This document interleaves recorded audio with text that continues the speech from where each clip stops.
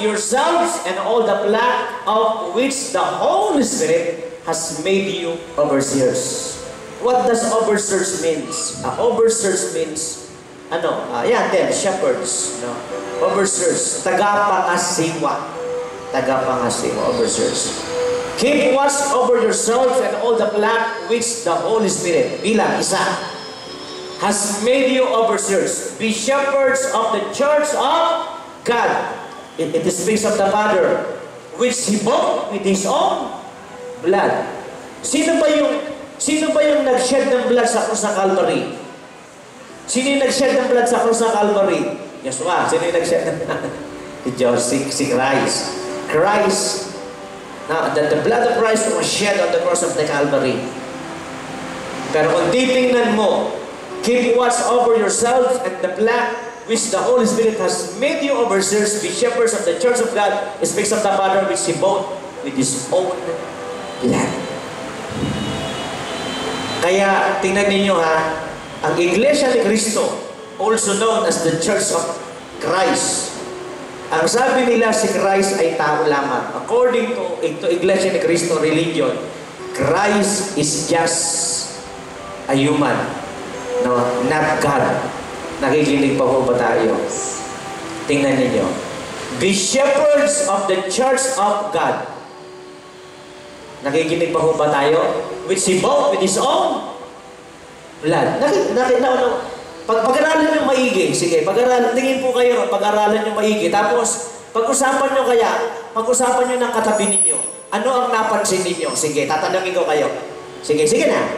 Ayan, suotin mo sa lamin mo, dali. Hindi mo makita. Sige, pag, sige, pag, yan. Basahin nyo maigi, pag-usapan ninyo ano ang napansin ninyo. Nasatanungin ko kayo. Okay, pag-usapan nyo ng katabi ninyo. Eh, parang cell group, cell grouping tayo, cell group, small group. Pag-usapan nyo ng katabi ninyo, ano ang napansin ninyo? No? Bantayan ninyong maigi ang mga tupa no? na kung saan ang banal na spirito ay ginawa kayong tagapangasiwa, tagapanguna. No? Alagaan ninyo maigi ang iglesia ng Diyos sa binili ng kanyang dugo. Kasi pag-aralan nyo maigi, tapos tatanungin ko kayo, yung makakasagot, may pera akong ibibigay dito. Hindi, walang biro. Sige, yung makakasagot.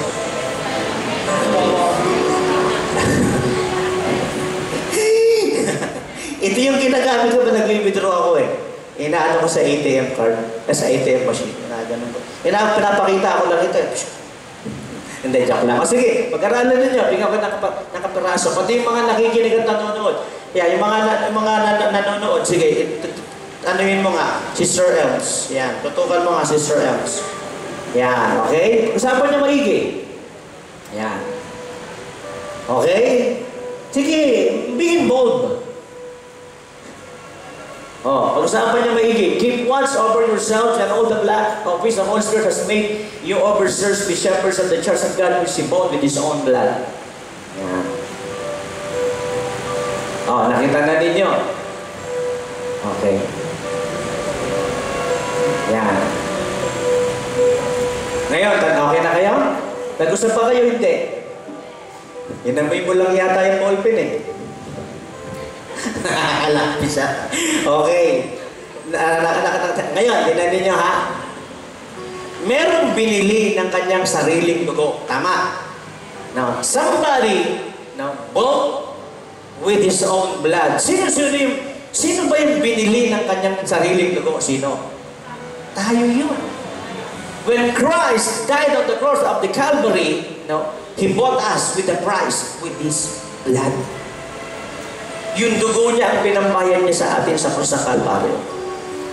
No, we are all sinners bound to hell, but Jesus paid the penalty of our sins by His own blood when His blood was shed on the cross of the Calvary. His body was murdered. Sabi nga, yung ma- maaring mata at dila na lang niya ang walang latay. No. Maybe he died because of suffocation.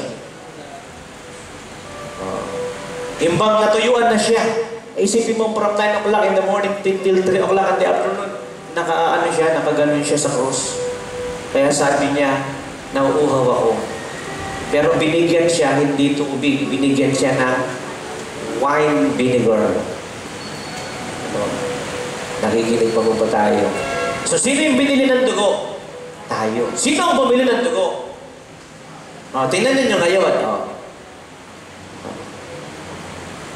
Sino ang bumili ng dugo? Pag-aralan ninyo maigi. Sino? Si Jesus. Pero si Jesus ba nandyan o wala? Wala. Pag-aralan nyo maigi. Ganyan ang paghahanap ng Trinity. Ganyan ang pagkilala sa Diyos. Keep watch over yourselves and all the plan of which the Holy Spirit has made you overseers. Sino ang, na, sino ang nagtalaga sa mga apostles para maging overseer? Sino? The Holy Spirit. Is He a force? No. Tingnan ninyo. Who made the apostles overseers? Who appointed them to become an overseers? The Holy Spirit. Ano ngayon yung Holy Spirit? Pwersa? Ano natin pag-aralan ninyo? Pwersa ba ang Holy Spirit yan? Palagay mo, Elena. Ay, hindi. Be shepherds of the church of, not Christ, of God. Which He bought with His own blood.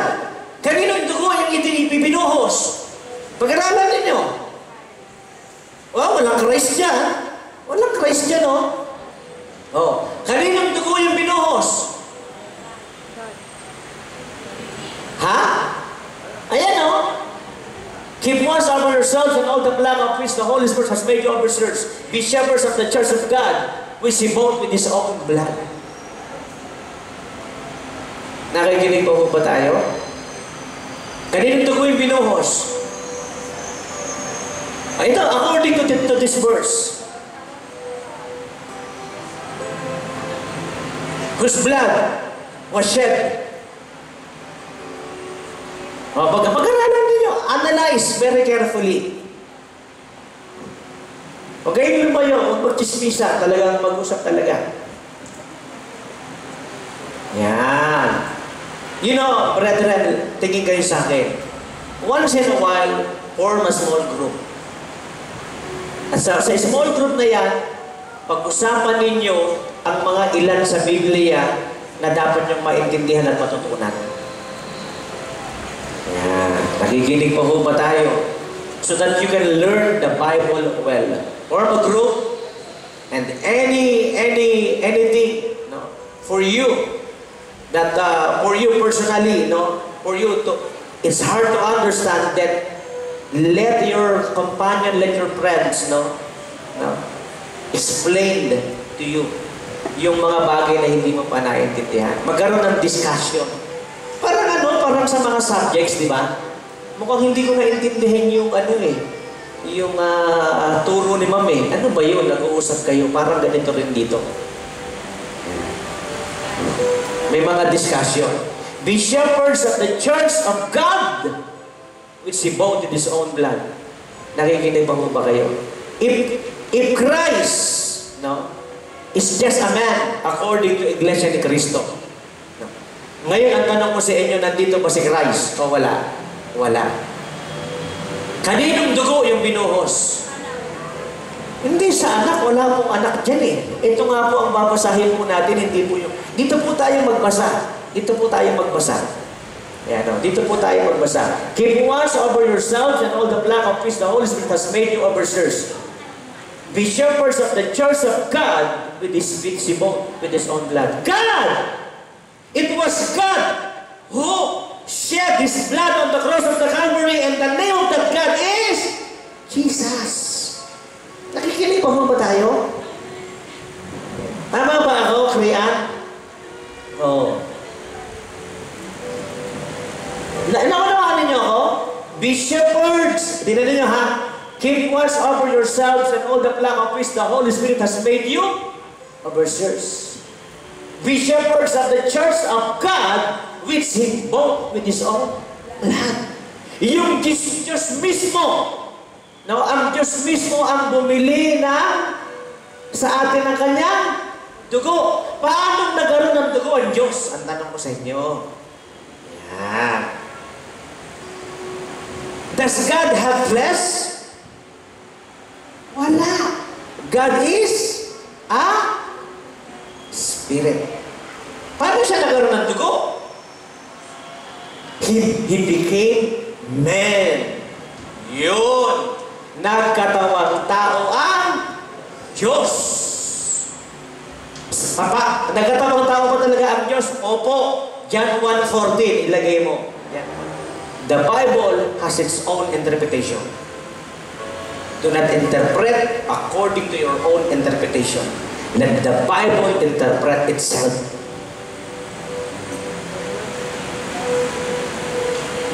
And in Bible school, they call it the hermeneutics. Let the Bible interpret itself. Para pag nanonood ka ng pelikula, di ba? Kung ano yung intention ng author, kung ano ang intention ng writer, yun, yun ang yun yun. Hindi mo pwedeng bigyan ng sarili mong conclusion. Oh. Kagaya ng isang book na binabasa mo isang book, merong intention yung writer, merong intention yung author. Kung ano yung intention niya na gusto ipaabot sa mga reader, yun lang yun. O hindi mo pwedeng bigyan ng sarili mong interpretation. Ganon din ang Biblia. The reason why many people no, misinterpreted the Bible because they are making their own interpretation. Oh, John 1.14 The Word, and that, that refers to Jesus. One of the symbol of Jesus is Word. Big letter W, not, not small letter W. Word. Listen very carefully. Word came from the Greek word logos. Logos. And Jesus Christ is the living logos. Sa ibang translation, verbo. Verbo. Nakikinig po ba tayo? The Word became flesh and made His dwelling among us. The Word became flesh. Meron ba tayong Tagalog? May Tagalog tayo. Wala. Walang kaisto na Tagalog. Ang salita ay nagkatawang tao. Si Kristo ay hindi tao. Siya ay nagkatawang tao. Bago siya nagkatawang tao, ano siya? Diyos siya. Bago niya binili ng kanyang dugo, ang, ang church, nagkatawang tao muna ang Diyos. Kasi, hindi pwedeng bilhin ng Diyos ng kanyang dugo tayo kung hindi siya magkakatawang tao. Yun. Kinakailangan mo ng magkatawang tao. Nakikinig pa mo ba tayo? Kailangan mo nang meron siyang gawin para siya ay makapagbuhos ng dugo sa sa Kalbaryo. Nakanawaan niyo na po ako ngayon. Yan. Anong sabi ng Bible? Lahat nagkasala. Tama. Romans 3.10, for all have sinned. Tama? Nakikinig pa ho ba kayo sa akin? Uh, Romans 3.10, for all have sinned. Ang tanong ko sa inyo, si Kristo ba ay nagkasala? Hindi. Ano ngayon si Kristo? Ano? Alien? Jews. For all have sinned. All persons have sinned. The Bible declares it. But Jesus Christ has no sin. Walang kasalanan si Kristo. Nakikinig pa po ba tayo? He made no sin. He knew no sin. Wala siyang kasalanan. Kung walang kasalanan si Kristo, ano ngayon si Kristo? Diyos. Pakisabi niyo sa lahat ng mga iglesia ni Kristo, hindi tao si Kristo dahil si Kristo ay hindi nagkasala kahit kailan. Kung si Kristo ay tao, dapat nagkasala siya. Sabi nga, no man is, no man, nobody is perfect, right? Even perfecto ay hindi pa rin siya perfecto. Diba? Yung kapitbahay mong si perfecto ay hindi pa rin siya perfecto. There, but there's only one perfect and that is Christ. That, that is God. Amen. James 1.17, write it down. Jesus Christ is perfect. God the Father is perfect. No? James 1.17, Santiago 1.11 ito. Nakunawanan ninyo ko? Amen. Palakpakan natin si Lord. Yan. So ngayon, Ah, eto, sa ano na ano, ano na tayo? Mahaba tayo pero maganda ang ating pag-aaral. Yan, natututo tayo. Yan, yan. The Holy Spirit is called God. Yun, dito na tayo. Ang banal na Espiritu ay tinawag na Diyos. Yan. The Holy Spirit is called God and Lord.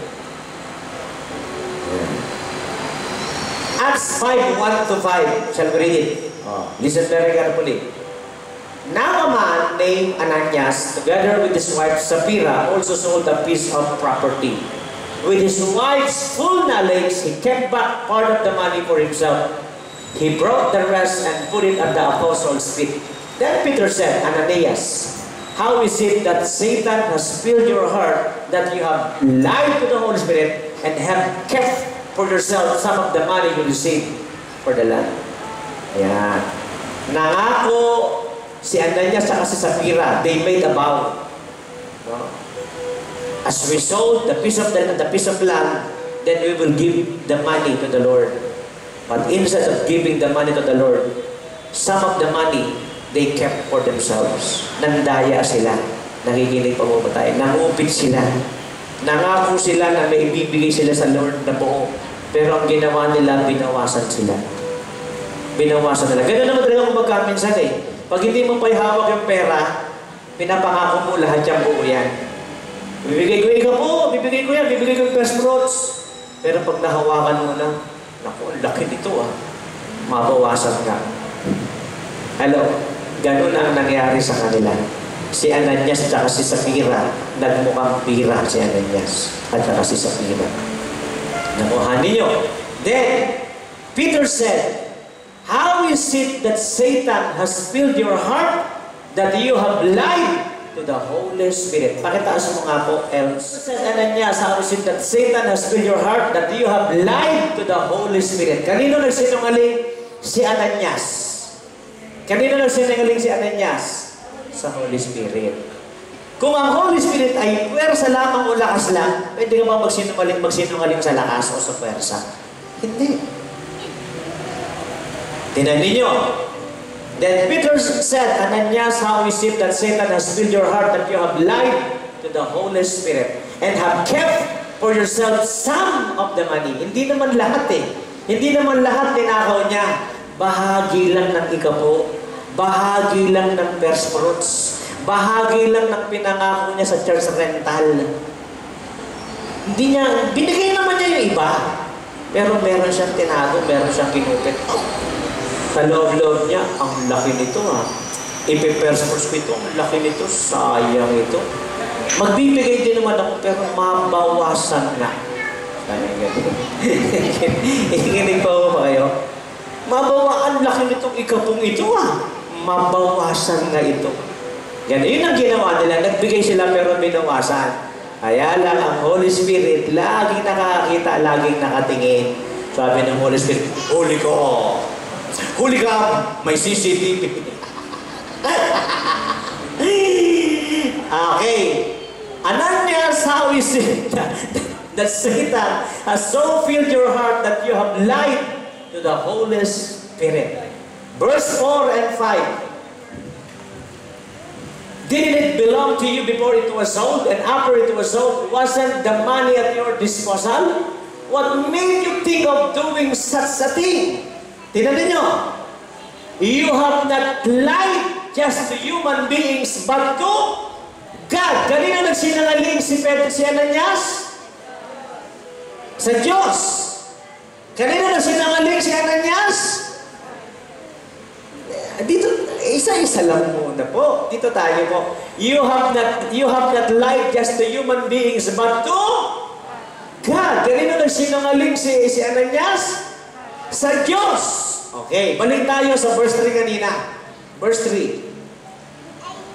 Then Peter said, Ananias, how is it that Satan has so filled your heart that you have lied to the Holy Spirit? Therefore, who is the Holy Spirit? The Holy Spirit. You have not lied to human beings. You have lied to the Holy Spirit, and you have lied to God. Oh. Diyos ang Holy Spirit. nakikinig pa ho po tayo. You can worship, you can love the Holy Spirit. You can ask anything from Him. You can uh, ask for His feeling, for His touch. Oh. Another, another. Second Peter or Second Corinthians 3. Tingnan ninyo. But whenever anyone turns to the Lord, Lord, big letter L, Panginoon. It refers to God. But whenever anyone turns to the Lord, the veil is taken away. Now the Lord is. Who is the Lord? The Spirit. Mm. Now the Lord is the Spirit. And where the Spirit of the Lord is, there is freedom. And we, all who with unveiled faces contemplate the Lord's glory, are being transformed into His image with ever-increasing glory, which, come, which comes from the Lord, who is the Spirit. Who is the Lord?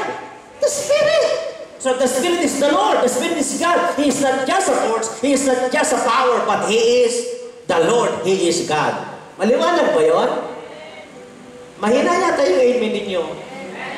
Oh. The Spirit is the Lord. Okay? Oh.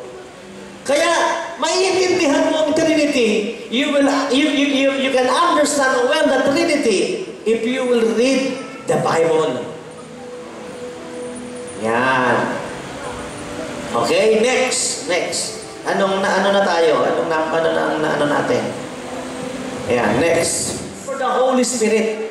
Pag sinabi mong He, pang lalaki, pag she, pag it, bagay, non-living things, it, tama? Oo, alam ni Hannah yun eh. Yan.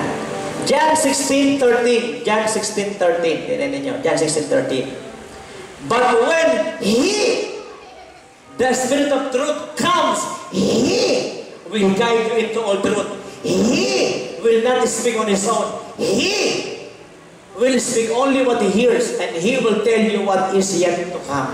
He. Ano ay ng Holy Spirit? Lalaki. Ano ba ang Diyos? Lalaki ang Diyos. The personal pronoun, no? He, no? Was used for the Holy Spirit. Nakikinig ba ho ba tayo? Pinuprove natin, we are proving that the Holy Spirit is God. Naunawaan po ba natin? Ituloy natin po ang pagbasa. Yan. Ang pag ah, dito tayo sa number 4, number 4. The Holy Spirit has intellect, feeling, will, and emotion. And that is the meaning of personal being. A personal being is one who possesses willing, uh, feeling, intellect, will, and emotion. Nakikinig pa ba tayo? Ang pwersa ba, ang pwersa ba, may emosyon ng pwersa, ang lakas. Pero nawala. Ang pwersa ba nasasaktan? Umiibig? Hindi. Pwersa. Sabi nila ang Holy Spirit, pwersa lamang. Pero hindi siya pwersa. Nakikinig pa ba tayo? Oo, sabi ko na nakikinig siya eh.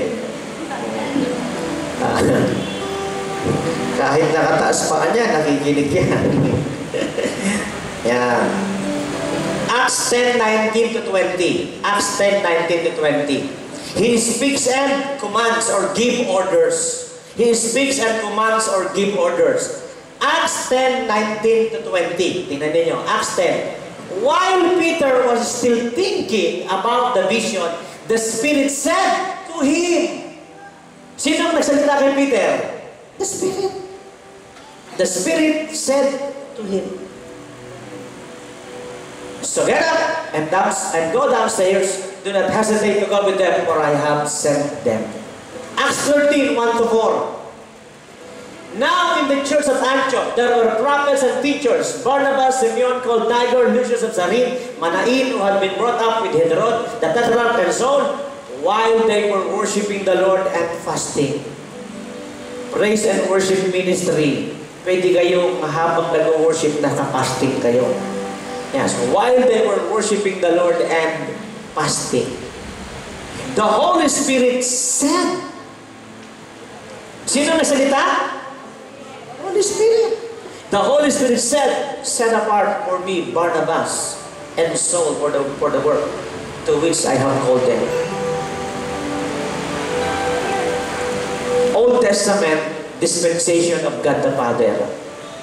Tapos sa New Testament, dispensation ng uh, God the Son, si Jesus Christ. Pero from Book of Acts, pababa, pag ganun, dis- dispensation of the Holy Spirit na yan. Nasa dispensation of the Holy Spirit tayo ngayon. Sino ang kasama natin ngayon? Ang Holy Spirit. Yan. Set apart for me, Barnabas and Saul, for the work to which I have called them. Tinan mo, kung hindi siya Diyos, bakit siya nagsasalita? Kung hindi siya Diyos, ba't siya nag-uutos? Di ba? Nakikinig pa ho ba kayo? Dahil ang Holy Spirit at ang Ama at si Jesus, isa lang yun. Nakikinig pa ho ba tayo? Depende lang sa role na kanila, ginagampanan. Yun yun. O next, anong kasunod? He can be grieved or can be hurt. Pwede mo siyang saktan. Nasasaktan din ng Holy Spirit. Pag tayo hindi sumusunod sa Kanya, nasasaktan siya. Pag tayo nakakagawa ng kasalanan, nasasaktan siya. He can be grieved or can be. Not the Holy Spirit. Huwag niyong pigatiin ang banal na Espiritu.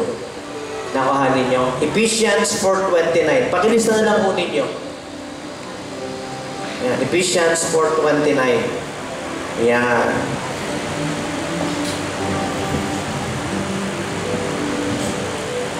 Ephesians 4.29. Pabayaan mo na. Dito na tayo sa number number 5 na tayo para matapos na tayo. Number 5. The Holy Spirit testifies and gives glory to Jesus. Jesus testifies and gives glory to God the Father. John 15.26, basahin natin. Tingin kayo sa akin.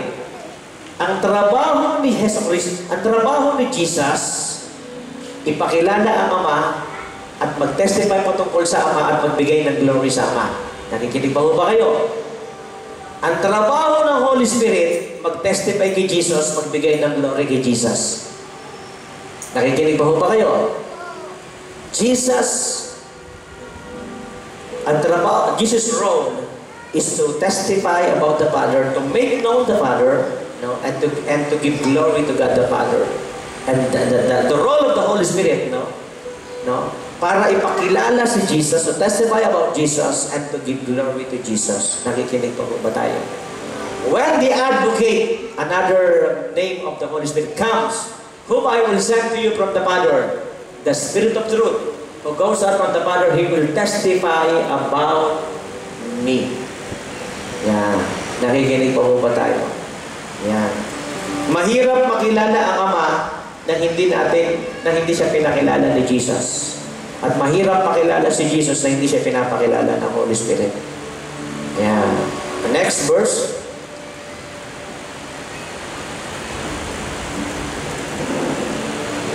I have much more to say to you, more than you can now bear. But when he, the Spirit of truth, comes, he will guide you into all truth. He will speak not on his own, he will, he will speak only what he hears, and he will tell you what is yet to come. Yeah. Next. He will glorify me, Jesus, because it is from me that he will receive what he will make known to you. Listen very carefully. Alam mo, paano masasabing nasa flesh ka pa pag nagpupuring sumasampa ka sa, sa Panginoon? Pag nasa flesh ka pa, nagpupuring ka sumasampa sa Diyos, daming lilimilipad yung isip mo. No? Tapos kung, kung saan saan ka nakatingin. Pero pag nasa spirit ka na, wala na. Pikit na pikit ka na, hindi na lumilipad yung isip mo talaga. Worship na worship ka na sa Panginoon. Yan. You are now in the spirit. Nakikinig pa po ba tayo? Ang, ang, ang Holy Spirit na ang talagang naglilid sa iyo. Sa worship na worship, sa worship sa Panginoon. Agay, ano ba yung worship natin kanina? Yung worship song natin kanina, ano ba yun? Yung worship song natin kanina, yung, huling kinanta natin. Ha? Aming Diyos. Tagalog yun. Kaibuti mo. mula pa noon ngayon at sa habang panahon. Kunin mo kaya ang mikropono mo, bitawan mo kaya yung bag mo, tanggalin mo kaya yung kumot mo. Aming Diyos, na ng